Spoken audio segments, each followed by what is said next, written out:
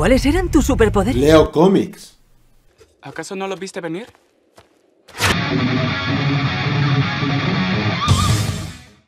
Muy buenas amigos y amantes del comer cine, yo soy Groen y aquí en mi canal Ficom se tiene casualmente te hablo de temas relacionados con el comer cine, también meto videojuegos y a veces temas de opinión personal como es este el caso.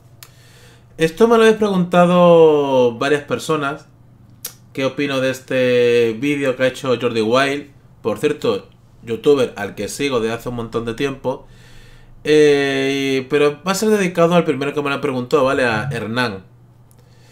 Y me lo habéis preguntado varios, sobre todo por privado, porque hace unos días hice un vídeo hablando de la polémica racista con PewDiePie, de sus posibles consecuencias, explicaba el funcionamiento que tiene la plataforma de YouTube. A nivel interno, ¿vale? Porque llevo 6 años en, en YouTube con varios canales.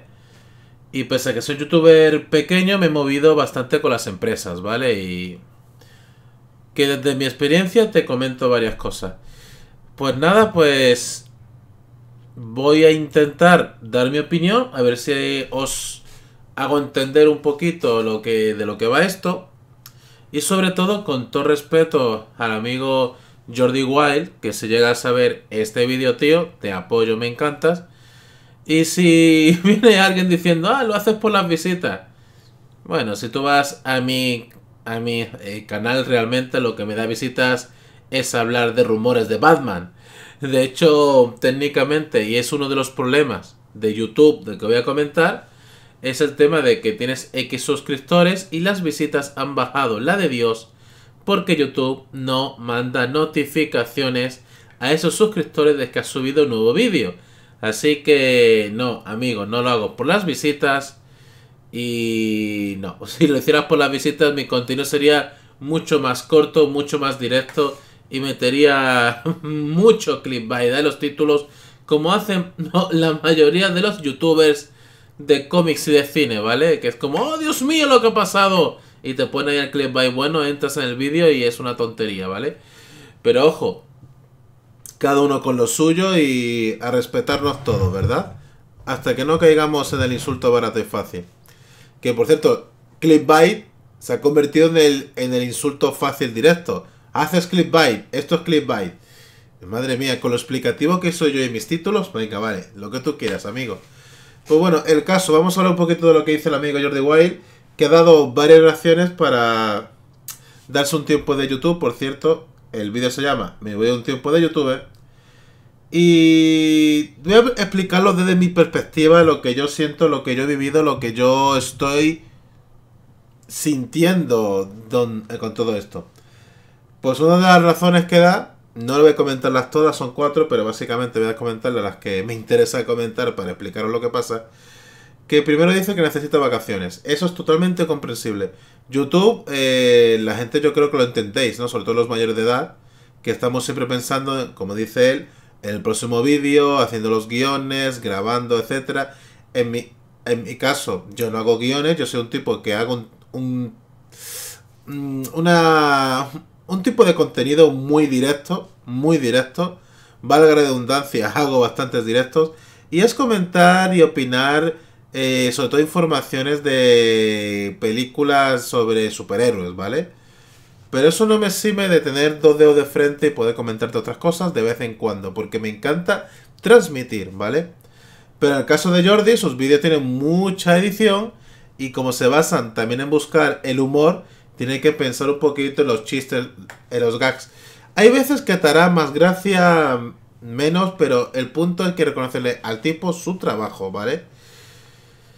Pues eso dice que lleva cuatro años sin, sin parar y yo le entiendo perfectamente. Yo en mi caso, esto es una afición que tengo, es algo que me gusta en demasía y el tiempo que me dedico a mi familia y al trabajo, oye, pues como mi, mi formato, ya te digo que es muy directo, muy sincero, cojo, me enchufo la eh, eh, eh, cámara, grabo 5 o 10 minutos, corto, lo edito sin edición y lo subo para arriba. Y cuando tengo hago lo con directo, pues me enchufo la cámara media hora, una hora, estoy con vosotros y fuera. O sea, mi contenido, lo, lo, eh, eh, lo digo con orgullo, es simple, no, no necesita un gran trabajo por detrás, ¿vale?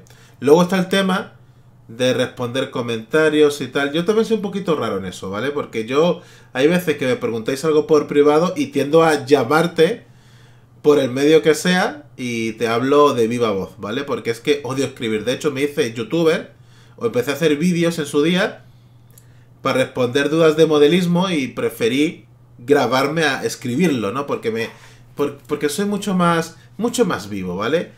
Las manos, en este caso de la comunicación, yo, yo gesticulo con ella, ¿vale? Odio escribir. Pero el punto es ese, el tipo está quemado, necesita vacaciones. Segundo punto de lo que quiero tratar, pues dice, pues mira, pues... El tema monetario. Yo sé que la gente no se lo cree o habrá gente diciendo, oye, mira, pues da igual porque sigue ganando mucho dinero. Yo no sé lo que gana Jordi Wild, tampoco le voy a hacer una auditoría, yo no soy Hacienda, ¿no? Pero está claro que el tipo gana, gana plata, se le ocurra, tiene negocietes, que si el cómic, que si la, la línea nueva de eh, ropa esta, ¿vale? Pues, pues que tenga lo que quiera, tío, como hemos tenido todo, que, que tenga mientras más mejor, no pasa nada.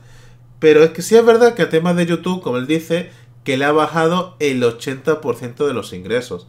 Yo cuando lo de PewDiePie, pues lo, lo expliqué, lo enseñé todo, pero bueno, te voy a enseñar muy, muy, muy rápidamente, ¿vale? Eh, vamos a ver dónde lo tengo. Vale. Por ejemplo, esto que veis los vídeos, hoy la verdad no tengo muchos, ¿vale? No, no tengo muchos, ha habido días que... Madre mía. Pero mirad, esto te está matando. Esto es lo de la revisión manual. ¿Qué, qué es esto? que YouTube de manera automática, mirad, aquí tengo otro, dice que tu vídeo pues no es bueno para los anunciantes. Esto pasó después de la movida primera con PewDiePie, que los anunciantes se fueron bastantes y como había menos dinero, se inventó YouTube esto para pagar menos a la gente, ¿vale? Porque tú le das, o sea, esto es un proceso automático. Te cae y mientras que tú pides la revisión, auto, eh, la revisión automática, o sea, la revisión manual, perdón, pues pasan uno dos días y ese tiempo en el que teóricamente viene alguien a revisártelo, pues ese vídeo no genera ingresos. Un vídeo, la base potente, a no ser casos virales muy extraños, muy particulares, son los dos o tres primeros días. Luego ya nadie te ve ese vídeo. O el que te lo ves una parte ínfima, ¿no? Así que los ingresos fuertes están en las primeras 48 horas. Sobre todo los youtubers grandes, pero también en mi caso, ¿no? Obviamente. Pues ahora tengo poquitos bajo esa estela, porque... no sé, casualidades. Yo he tenido días que he tenido todo el feed. He tenido, llegado a tener hasta 17 vídeos esperando solicitud. Ahora parece ser que hay un proceso un pelín más ágil, pero las 48 horas no te las quita nadie, ¿vale? Y mirad, no es coña os voy a poner mi entrada de Outlook del mail. Mirad. Your video is established for advertise. ¿Esto qué significa? Que, oye, que tu vídeo, pues, vale para poner publicidad. Dice, grandes noticias. Después de ver manualmente lo que es tu vídeo, te lo hemos dado. Por ejemplo, este es el título. Dice, gracias, el YouTube TEA. Y aquí estáis viendo las fechas y mirad. Mirad, mirad, mirad, mirad. que no me inventó nada. O sea, vamos a ver esto. Mirad. Este, este vídeo gracioso. Un vídeo de una partida de un videojuego del Player 1 Battle Dice, pero, pero ¿qué pasó ahí? No, no, no pasó nada, que es algo automático, que, que te cae y ya está. Luego vas a mi canal. Yo lo enseño. Y a mí YouTube no me ha retirado ningún vídeo nunca. Y veis que esté verde significa que puedo que puedo meterle anuncio, que está monetizado. Mira, ¿veis? Bueno, este todavía estoy esperando. Mira, este es el 17 de septiembre.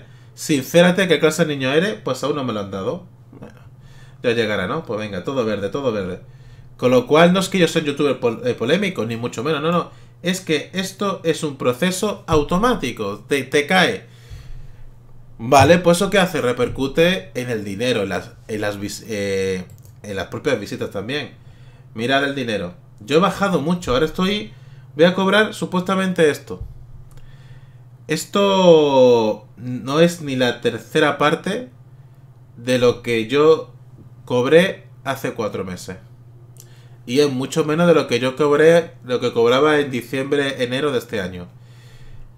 ¿Por qué? Porque claro, es que son, son muchas cosas. Lo de las revisiones, que las notificaciones pues no llegan, te llegan, obviamente al llegarte menos notificaciones, gente no te ve el vídeo. Eh, mira, las, mira las estadísticas, están todo en plan para abajo porque te ve menos gente, es alucinante. Eh, y esto no tiene nada que ver con que mi contenido sea bueno o sea malo, no tiene nada que ver con eso, le, pasa, le está pasando a todo el mundo. Mira, por ejemplo, eh, aquí vengo lo que cobro, un vídeo de 22.000, bueno, casi 23.000 visitas, 8 dólares. Y YouTube, ¿por qué? Yo qué sé, tío. Llega un momento en que no te enteras que si es por el target de público, por los anuncios que han metido, no lo sé. Pero el caso, bueno, gracias Juan Hinojosa por suscribirte. el caso que una cosa que siempre ha molestado mucho de YouTube a los youtubers es que hay vídeos que tienen muchas menos visitas y te pagan más. Por ejemplo, esta tiene eh, 6.000 visitas, te pagan casi 5 dólares. Y este que tiene 22.900, pues 8, si lo podéis ver, ¿vale? Pues son cosas que no se entienden, tío. Son cosas que te queda... Pero la cosa es que estas cosas molestan. Y claro, si hay gente adulta, que sobre todo en el caso de Jordi Wild, eh, pues vive de esto, pues directamente, pues te quedas como dice, hostia, no es llorar, pero si un mes, un ejemplo, cobras mil euros, que con eso pagas tu casa, pagas tu comida, pagas tus impuestos, y al mes siguiente, sin ninguna razón, te pagan cuatro o cinco veces menos, pues tú cómo te quedarías. Y lo que dice esta parte del vídeo es que YouTube no me ignores, porque realmente llega un momento en que dice, vamos a ver, es que no puedes hablar con nadie. Hablas con la gente de YouTube y dice, bueno, sí, qué pena, pero no te dan explicaciones reales. Ya se solucionará, pues no, no se soluciona, la cosa va loca peor y esto YouTube de tenerlo como un, un hobby, pues sí, a mí este es mi hobby principal ahora mismo. Comparto mis opciones eh, con vosotros y sabéis que adoro estar con vosotros, sobre todo en directo, la interactividad.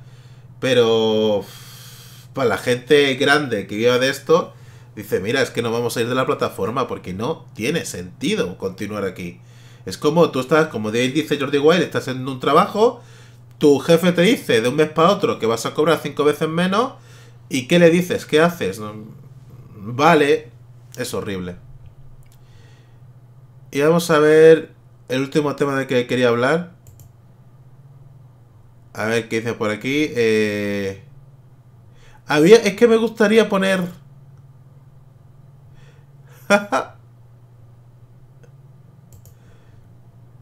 Aquí no, que como él ha hecho unos banner, pues te lo pongo ahí, ¿no? YouTube huele mal. Dice que él, en su tipo de vídeos, pues intentaba meter creatividad. Ojo, también ha dicho, y lo reconoce, vídeos un poco basura, con clickbait, con cosas tontitas de bromas y tal, pero bueno, como todo el mundo, ¿no? Pero que últimamente, pues que la creatividad cero patatero y que el público demanda ciertas cosas que vas a tendencias y te vuelves loco con lo que hay, que no le gusta, ¿no? Hasta hace pocos días ibas a tendencias y todo eran temas de piscinas. Es un público muy infantil que consume eso. No pasa nada, no pasa nada. Es lícito. Pero se está viendo que cada vez se premia más el contenido genérico copiado de otros que la propia creatividad o el esfuerzo que tú le echabas o le eches a un vídeo. Antiguamente, hace unos 3-4 años, tú veías un vídeo de un youtuber super currado y lo valoraba decía, Dios, qué vídeo tan bien editado, qué currado, qué interesante, qué gran guion. Y ahora no, ahora simplemente con ver a cuatro chavales haciendo el ganso en una piscina, dando volteretas, jiji, jaja, y poco más, placa, dos millones de visitas. No sé, es un poquito extraño, ¿no? Antiguamente, como me dice el amigo Jordi, pues oye, que se decía que YouTube era un lugar para creadores de contenido muy originales, sin posibilidades en otros campos. eh, iba a sacar la televisión de en medio porque la televisión solo era basura. Aquí se ve contenido de calidad y tal, directo para la gente. Y ahora todo eso ha cambiado. Y son las tendencias, ¿no? Y bueno, pues que el público demanda o quiera lo que le guste más. Pero realmente si eres un tipo que como él hace eh, contenido editado, pues te quedas un poco pues de bajón, ¿no? Y lo que él dice que no se va de YouTube, o sea, se va a tener un tiempo de descanso y cuando vuelva, pues como se sube 20 vídeos a la semana más simples, o un vídeo currado cada dos semanas, que va a subir lo que le gusta, que quiere dedicarse a ser actor, a su línea de ropa y a tener un negocietes X, ¿no? A hacer cortos, incluso películas, ¿no? Lo que, lo que haga. Yo le deseo toda la suerte del mundo. Pero el punto es ese, el punto es que si YouTube en general le hubiese tratado mejor o nos tratase mejor, la cosa sería muy distinta. Porque llegará un punto, como he dicho ya varias veces, que los creadores grandes de contenido se irán de aquí. ¿Y qué quedará para los anunciantes? ¿Chavales piscineros? Posiblemente. Pero bueno, el punto es que... ¿Qué pienso él? Pues que tiene toda la razón, que le deseo muchísima suerte en todo lo que haga y espero haberos dado una explicación de por qué y del... Claro. Y de lo, sobre todo de lo que yo pienso, ¿no? Yo estoy totalmente de acuerdo con él. Lo que pasa que yo, porque me encanta estar con vosotros, a mí en particular seguiré estando un tiempo más. Y ya sabéis, YouTube, pues la forma de pagar al, al youtuber que os gusta es darle me gusta, compartir los vídeos, darle a conocer. Y en algún que otro caso, si podéis y queréis, darle una donación. Es así, o sea, es así. Bueno, pues nada, pues un saludo y no sé lo que ha durado el vídeo, pero creo que he comentado todo lo que quería.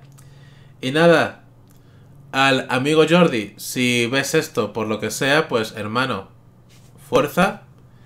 Y a los demás, pues YouTube así. Y ya no me voy a meter en la comunidad tóxica porque eso en internet está en todos lados, ¿no? Te, creas un Facebook, simplemente vas a tu rollo, te puedes encontrar cualquier cosa, ¿no?